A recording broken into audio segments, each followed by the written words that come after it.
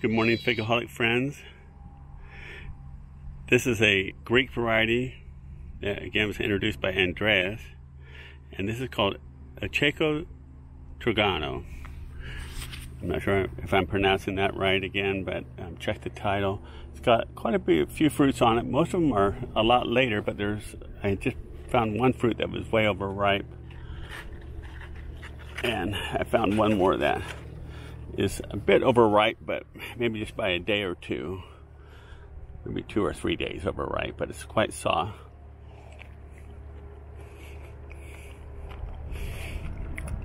Not spoiled at all. I mean, it is a bit overripe, but there's no sourness in it. It's got a full flavor, very juicy, syrupy.